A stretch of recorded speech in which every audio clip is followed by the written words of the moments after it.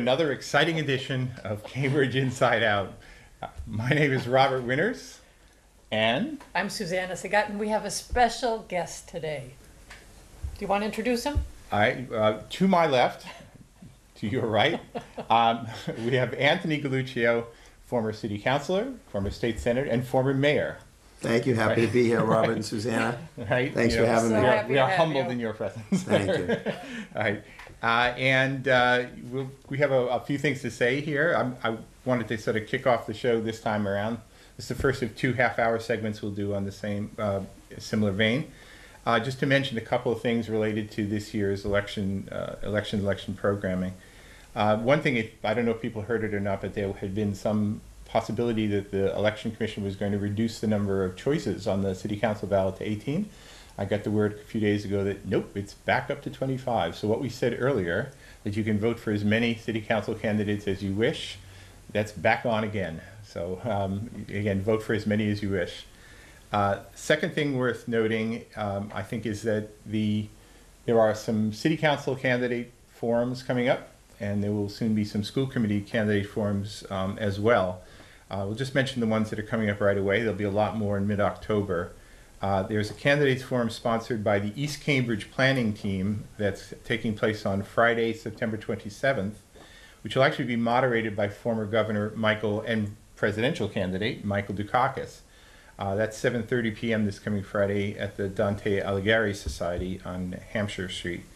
Uh, then again on Wednesday, October 2nd, will be sort of rather novel format format um, council candidate forum, kind of around many tables that the Mid Cambridge Neighborhood Association um, uh, conducts. This will be held. I'm not quite sure of the time, but it'll probably be in the 7 6:30 to 7:30 range at Cambridge College at 1000 Mass Ave. So that'll be on Wednesday, October 2nd.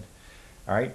And uh, I think with that, maybe we should carry oh, on. we forgot to say one thing. Oh, please. Uh, do you know what anniversary this is for CCTV? This is a test for our guests. Hmm, Dun, dun, dun, dun, dun. 35.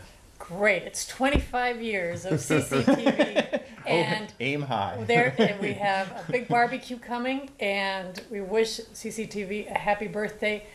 And because if when you come to CCTV, you'll see a lot of historic pictures on the wall, and that's why we were especially glad to have Anthony here. He has a lot of history, and we're going to try to pluck as many stories from him as we as can. we possibly can. So, uh, in that vein, let's not talk so much about the past. Let's first, what you, what have you been up to, Anthony? First of all, that, that's that that I do remember now, and that was that was an interesting time in Cambridge because there was such desperation to get cable TV, that's right. and I can that's remember right. people who had relatives, and it was probably Arlington that would say, "How can we not have cable yet?" And you know, Bob Healy, you better get moving and get us cable TV. and uh, so much has changed. Bob's, you know, retired. Sue's, thank goodness, is still here, and we have a great new cable st- uh, headquarters here for CCTV. Yeah. So yeah. progress. Yeah, we're definitely moving along. So, what have you been up to, Anthony? Just about everything. Uh, I- having I a lot you- of fun. Lot, lot of fun. I, I, I think uh, Margaret Drury, who is a, a wonderful city clerk, And is Uh, now on the Cambridge Redevelopment Authority Right, board. that's right. A glutton for punishment. Uh, she, I think, at one point she said, "I said, what, you know, what should I do?" She said, "Just go, go live." You know, because I, I had been in in politics, you know, since since I came home from college. I got active, and then it was just a whirlwind. So I'm having a lot of fun. I opened a, a local law firm, uh, which is general practice, and we're doing a little of everything and a lot of some things. And I'm doing every. I'm on a couple boards. I'm on Centro Latino's board. I'm on the Hildebrand Family Self Help That's Center great. board. Both of those I've been on for a long time. Hildebrand for over 10 years. And I'm coaching Little League, Pop Warner football. I'm helping out with the Cambridge High School football team. I have my own charity. So all the stuff that I didn't really have a lot of time to do. I'm, yeah, it's a lot of fun. I'm really happy and enjoying being able to do a whole bunch of stuff. Now, I've seen you in recent, this largely over this past year, very actively involved with some of the rezoning processes. I think there was some petitions for North Point, as well as down at MIT Kendall petition. Yeah. So when I when I opened the practice, which was probably four years ago, I, you know, I was doing a lot of different kinds of law, criminal law, real estate. My partner does a lot of family law and civil, and as things have evolved, I've gotten uh, gotten more involved in uh, land use. So I'm doing some major projects in Somerville, uh, which has been fun. Right. Of course, North Point crosses over into Somerville, so Yes, I do the. Cambridge. But uh, yeah, a lot of a lot of fun uh, planning and land use issues, which were always interesting locally, and I got pretty deep into. Uh, So as a city council, you were on one side of the zoning game. Now you're sort of on the other side of the game. Well, and I've done, yeah, I've actually done, and I've done some neighborhood stuff too. I, I was able, so I, I, you know, little, little, little of both, but uh, I'm having a lot Yeah. of fun. It keeps me out. It that keeps me out in the community, which is fun. I see you all the time out, and- out and about. So we're prepping up for our big show on uh, election night, and we spend some time every week on city council issues. So we'd like to talk to you a little bit about your life as a city councilor and as a candidate, and how things have changed and how things haven't. So, do you want to start with a Yeah, I'll couple just- of the questions? Just to briefly to say this is that um, you were first a candidate for city council in 1993, which strange as it may seem, I was too, as was Michael Sullivan and quite a few others. That was a big year, similar year actually to this year in the sense that there were two vacancies on the city council that year, and it brought out a lot of candidates. There are 25 candidates this year, and there are 29 candidates back then. Right. So there's a there's a little bit of a parallel and Yeah. some very significant differences. So we just of thought maybe, just sort of generally speaking, if you have recollections or some, you know, tales of glory and woe of your early days in the local Cambridge political world. Yeah. Well, you know, I was thinking back to 1993, uh, just you know, in, in thinking about the show, and you're right. There are some parallels. There were a lot of candidates that year. Um, back then, I was trying to sort of think about what has changed, and I think the big difference is the obviously electronic, uh, the the age of emails and tech and new technology. Back back then, it was really about kind of physical energy. Oh, yeah. So you, you know we, we I can remember we started in January exactly. Did you say volunteers? We remember you know we, we we started in January with volunteer meetings meetings in VFW halls and just getting volunteers ready. And then as soon as spring broke, it was you wanted to show some activity, and then you had to get your yard signs up way before Labor Day. And and then as you no as you progressed into the fall, it was like you wanted to build this sense of growth, and you were on the move, and more volunteers and more Yeah. yard signs. And now I think it's it's it's much more uh, email based. You know, a, as somebody who spends a lot of time thinking about who's identifying voters properly. You know, I, I wonder, back then we'd always say, yeah, so and so has three yard signs up for three different candidates. Who they voting for? Now I think it's Wasn't that a Russell location? right. But now it's so and so's on six different email lists, and who are they voting for? Yeah, So exactly. it, it still comes down to figuring out who's really giving those number one votes to who. But I think the, the means of communication has evolved, and it's Yes. probably a little less exciting because you don't get to see the growth and the energy, That's right. which I think was a lot of fun back then. Eh, You know, it was a lot of work, but it was also unifying because the, the acts of the act of getting volunteers together and showing support also unified people, and it, and it was exciting. Right. These days, there are actually some campaigns I've noticed from the reports. They're actually paying for canvassers, and they they hire camp. uh, I think there's one entity called the Cambridge Network, and there's some other. There's sort of like almost like campaigns for hire. And my recollection, correct me if I'm wrong. You know, thinking back to the old Sullivan campaigns and some of the great political times, it was. It wasn't a professional operation. It was like friends and family. And if you needed to pay somebody, okay, great. But the core of it was always friends and family. you I know? love that neighbors would get together in some living room, some dining room with the envelopes and the leaflets and fold and stuff and have to lick all those envelopes and, and, and seal them and stamp them and drag those huge boxes to the mail. Yeah. That happens very rarely. It's so uh, true. Now you send it off to a service. Although Right. I did see a tweet from Tim Toomey's campaign saying we finished our stuffing and there were like six big boxes ready Well, to go to the post office. but- so some people still do it. But you know, the Toomey campaign, when you look at campaign finance reports, he's still not showing like a, camp, a paid campaign manager. So that's very old style. Yeah, But but, so- it gets neighbors together. It absolutely does. I think, and it also there's a big payoff in terms of long-term sustainability of your campaigns because these are your people who are going to stay with you, uh, and Right, And- dear, dear friend cards were, were, were a great example of that. So there, because there was the act of deciding who you were going to ask, and then the ask itself was a form of campaigning.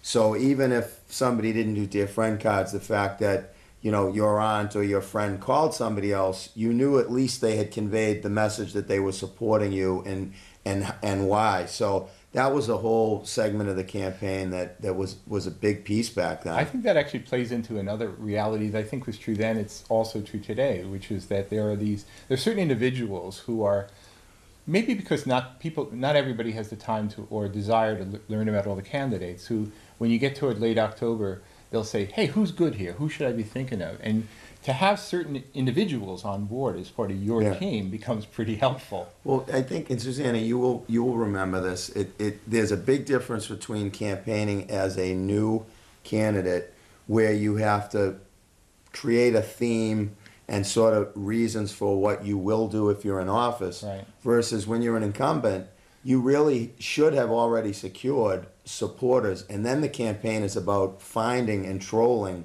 for those supporters whom presumably are already ready to support you.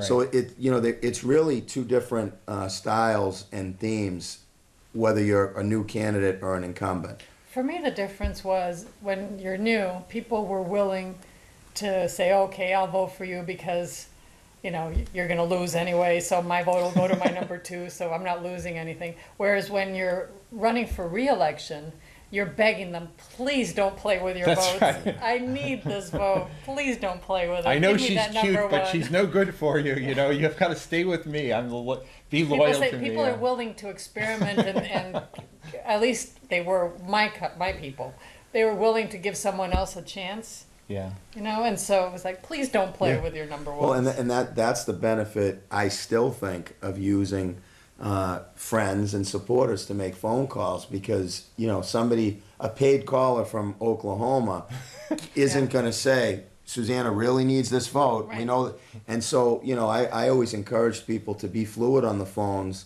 Don't become uh, don't become that out of state caller. Make it personal. Yes. Say why why you're helping the, the candidate. Say because I didn't I called them for help and they responded to me and that's why I'm volunteering because it's really refreshing.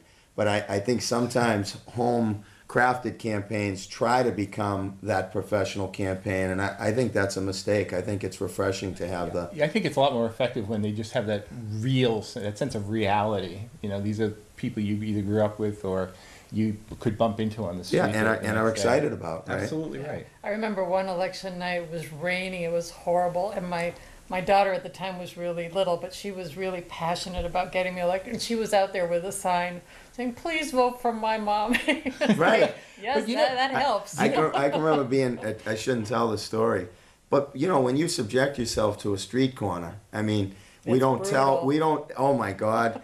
And people wonder why we're so patient, right? And it's like, you know, I can remember standing at, at Concord and Huron Oh, and yeah. somebody coming by and saying, oh, uh, you know, I think I was still a law student. I mean, it was an early campaign, Yeah. or I was just out of law school, and someone said, "Yo, you're going to get all these people jobs," and I was so confused by the comment, and I said, "I said, hold on, this is my mother, that's my sister, this is my best friend," and I went off to say all the jobs they had, and they were all gainfully employed. Yeah. But you know, it was like, you know, there is a reason why some candidates tend to stay out of the the the, the public realm because it can be tough out there. Yeah. It's not always fun. I mean, you go home sometimes with your head spinning, and uh, but it's a good experience. Well, actually, one of the comments we made last week was uh, many times a new candidate will come in there with a head full of brilliant ideas, how I'm going to save the world, do this and that. They knock on their first door, and the person sort of says, "Well, I'm really angry about that that bump in the street or that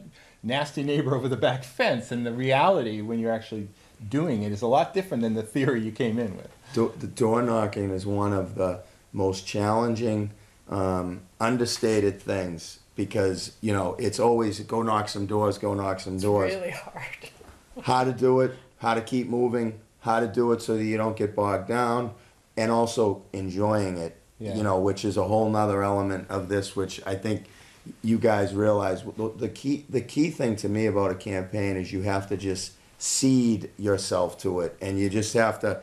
It's like playing football in the rain, like we did this morning. Get wet, accept it, have fun. That's your, your life, as you know it, is now over. You will be soaked, and a campaign's the same way. It's just your, your life as you know You it's know- over, and if you fight it, good luck. I'll actually say something else that I remember from being candidate back when you were first a candidate too. Is that, you know, at first you start to think, oh, this is competitive, and there's no question that it is competitive. However, you're all going to the same events. You know, you're showing up at you know a Sullivan time. so true, yeah. You know, and with hosted with Edward Sullivan and those. I remember Yeah. some of those early ones. Uh, and you you go from forum to forum to forum. And they're asking you many times the same questions. And I always likened it to being kind of like on the tennis tour. Yeah. so you're you're out there, you know, beating heads out on the court, but ultimately you actually develop friendships. So, Absolutely. And honestly, people like yourself and, and Michael Sullivan and I, you know, we've remained pretty good friends Oh, as yeah. a result. And it was all born out of a political campaign. I can remember seeing, you know, Jimmy McGrail jogging Fresh Pond. It, it was probably spring going into the election, and you know, I was trying to lose some weight. He was trying to lose some weight, and it was like, oh my gosh, we're, we we got the same mindset. And then it was, you know, Jim McSweeney was in in the, and I, Well, we, we really, you know, you really do, you really do. And I think even now, when you see former elected officials, I don't really remember the disagreements over issues. I remember the late night meetings and getting through tough issues together and the long Yeah. campaigns. And I think there is a bond there because it's it's so much it's so much more work and it's it's it's it's it's really an enduring exercise, a campaign. And I hope all the new candidates, especially, really appreciate the fact that when you know there will elect this thirty, what is it, twenty-five can, uh, candidates, nine to be elected. So that leaves sixteen. Did I did the math right, Anthony? Help- help you stick with the math. right? But it means there'll be a lot more people who will not be elected, and there is life after that. And you know, I, I dare say that many of the candidates, new candidates this year, will end up becoming fast friends with the people with whom they might We somewhat spent think. so much time together. They you spend, it's like dating. And and you know, you, you talked about the forums. Those are really tough because unless they're But- but they- televised, You- right? you know, you get, you know, you get there. I can remember a, a, a debate with uh, when I ran for state rep with Alice Wolf, who was, you know, Alice and I have become really good friends over the years, and I learned a lot from her. And I can remember getting all geared up for this debate. It was over in Walden Square, and it went. You know, I thought it went pretty well, and I said to my mother, you know, what do you think? And she said, you did pretty good, but. The only people who were there were the people that were already going to vote for Alice, right. and the, so go get out and start campaigning again That's- because it really doesn't matter. And I said, oh my God, she's right again. You're actually that's absolutely true, and I, I it's one of the sad realities. You go to these candidate forums. I really would please everybody go to the candidate Yeah. forum And somebody film it and put it on YouTube Yeah, so that yeah. Or it- CCTV. it get- And that's CCTV. right. That's right. right? Because it's oftentimes the people who are in the audience are the ones who came with the Yeah. candidates, and Now, it's I, unfortunate. I do have to say the campaigns have, uh, and I'm, I'm not. Bl- this is no judgment towards the current candidates because the everybody's the rules are the rules when you start. But Yeah. back then, I mean, we would announce in the paper around January, February we were running, and, Yes. and then in the springtime it was well known. Yep. And I think it, it's become a shorter tight now. cycle, which uh, you know I think it's given that there isn't an incredible amount of attention shown towards local elections versus you know a governor's race or a congressional. I think two months is a really short time uh, to get your name out there and to and to campaign heavily especially since it gets darker really quick you know right around now it, it, it starts Yeah. to really get dark and it's tough to knock doors. Well, I think a lot of the early parts of the campaign for many of the new candidates, especially, are just sort of building up a base of some core support and some money. You take some Now money. they and- cost so much more. We have Yeah. to raise so much You money gotta- in such a short time. Yeah, right now, I think as a, without naming names, right now, the, so the top candidate um, has already raised about forty thousand dollars. That's actually one of the new candidates. But I think before all is said and done, you know, you, a lot of times you don't even see any accounting of the expenses till the election's all over. You know, so you'll have candidates who'll be way over that. if you look at it, um, and I think a lot of candidates get so caught up in the sort of inside of baseball yeah. issues, which is unfortunate. I understand why it happens, but the average resident is, you know, trying to get their kid to school. Maybe there's a hot issue in the neighborhood, or, or maybe it's just sort of day to day, you know, schools, public safety, you know, and and I think, you know, e- e- the candidates forget that there's this really quick window where people will sum you up, And I think as an example, the year that Marjorie uh, didn't get the signatures, You're and, and she was and she had to run as a sticker campaign, I thought she's going to do great because just the act of oh Marjorie didn't get the signatures was force Got we're forcing people to talk about Marjorie Decker. She And became she- front and center, absolutely And right. she, you know, so And that was not done intentionally, but there were quite a few other candidates, especially incumbents, who said she did that on purpose. n- not that right. And I know she would say, trust one me, Trust me, on it didn't purpose. yeah. happen. But Yeah. but no, I think that's the. But so, it makes you not play with those ones either. It That's makes- right. Her, her people knew they had to vote for her, number one, That's because right. otherwise she would have been gone. That's right. Yeah, And, yeah. and the mailing is a really interesting piece of this because if you, you know, right now there's a congressional race going on, right? So in Oh, parts yeah. of Cambridge, but It's ki- a little confusing. It's what October fifteenth uh, primary, and then November fifth municipal election, and then a A December tenth Final. final for the um, Markey seat, right? but so you could spend, you know, anywhere from you know seventy five hundred to fifteen thousand on a serious mailing, Yeah. and or anywhere in between, and it lands the same day as three congressional candidates are in your mailbox. And yeah, so that's a whole science where you know you can get lost in as well, and it's expensive. Well, there might actually be this little window after the primary is, is done when there'll be a sudden drop off, and then that's really I, I correct me if I'm wrong, but I would imagine if you're a city council uh, candidate or a school committee candidate, you really want to sort of take full advantage of that little window in there Yeah, between mid October and well, you're gonna do that anyway, I suppose. yeah, and simple themes. Uh, You, you, Susana made a great point about house parties. I mean, because those things can just go on, um, irrespective of all the these other things going on. If if somebody can get twenty or twenty five people into somebody's living room, Oh, that's huge. and they can become ambassadors of the message. It's a Yeah. multiplier effect. Yeah, I think the year that the year that Kathy and Catherine were That- were that- elected, that it was 93. House Party Central. I mean, Yeah, it, was yeah. there was just this wave of activity because of the reti- you know, the retirements, and people were knew they, you know, people knew they had to kind of get introduced and introduce new candidates. Yeah. I'm not sure there's that appetite this year um, for for the the people. I don't see the, the the sort of energy around that that these two really, I mean, iconic figures in in local politics. I mean, Henrietta has been around for so long. Uh, Marjorie, you know, having run in state races, and I mean, these are big name local, both women you know, there's a there's a there should be a little more energy around that. We'll see if it picks up, you know, October first and in that in that next month. But that that- that's for in our world that's a big development. That's that's huge. It's a big change. Yeah, Right. Absolutely. Especially if the women are replaced by men. That makes, it'll make a big difference. Yeah, that that's a fascinating piece of it. And and Henrietta, being a former mayor, started out on the school committee. Marjorie mm-hmm. certainly as somebody who didn't serve on the school committee, but kept her hand in youth issues Yep. and and kept an eye on school issues. And you know, went to Rindge and Latin, and and so tho- you know, to me that this similar there. But you- you're absolutely right. How does how does the demographic piece of that affect the campaign? And I think a lot of that has to do with whether new candidates, again, if, if you get lost in sort of whatever the hot issues you think they are versus the reality of who's leaving, where are the votes, go get them, This, and, and you know, let's not forget, these are PR elections. It's not just a plurality election where you're just sort of like going head to head against two popular people. You, some of it is sort of micro targeted. You know, it's like, you know, because uh, of the way you do with the ranked choice balloting, is that you might have candidates of one particular description or focusing on issues. They're not essentially they're not even running against the candidates from a different demographic. Right. So you really have to micro target the way you, you do this. And so if you have two people, two candidates who are leaving, you know, how do you take Yeah. advantage of those freed votes? Because it's much easier to get a free vote than to steal Yeah. away an existing number one. it's it's not it's not a great game for nice just nice people if you think you're going to win the first time because uh, Susana you, you, Yeah. you probably I'm a remember nice this person. No, but you don't win.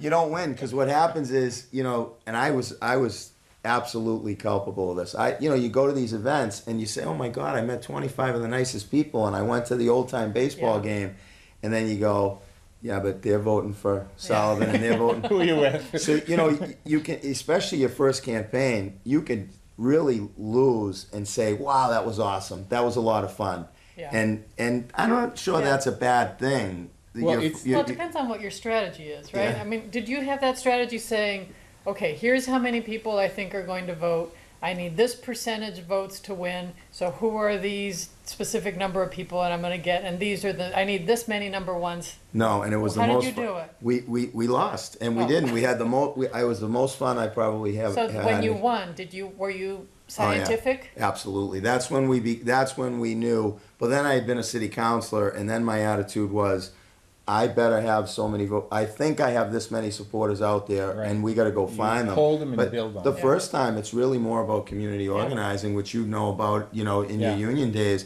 It was fun, and it was more about sort of. It was more of a cheerleading Yeah.